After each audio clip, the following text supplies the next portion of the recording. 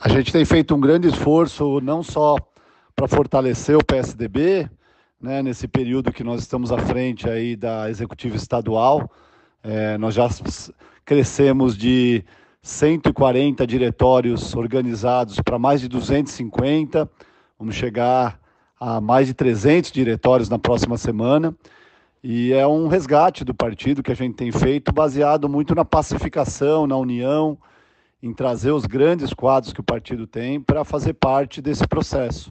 E hoje foi um, uma reunião importante, né, com grandes figuras, figuras históricas e figuras atuais do partido, que todas muito sintonizadas nesse esforço de reconectar o PSDB, que tem boas gestões em São Paulo, gestões muito bem avaliadas no âmbito municipal, de reconectar as ideias do partido com aquilo que a sociedade espera e pensa é, do poder público, das gestões públicas no âmbito municipal, estadual e também no âmbito nacional em 2026. Então foi uma reunião importante e a gente está muito animado para que a partir dessa convenção dia 25 o PSDB comece a escrever uma nova história aqui no estado de São Paulo.